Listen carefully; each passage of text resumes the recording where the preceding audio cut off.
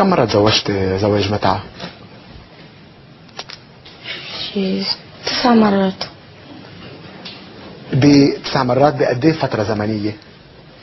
حسب بس أكتر فترة كانت أربعة أشهر وقد إيه الفترة يعني تسع مرات بظرف قد إيه؟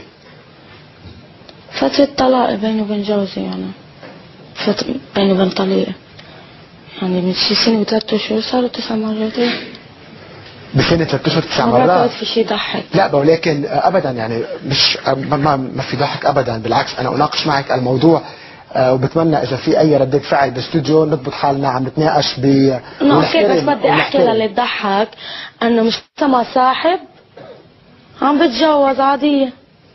شو؟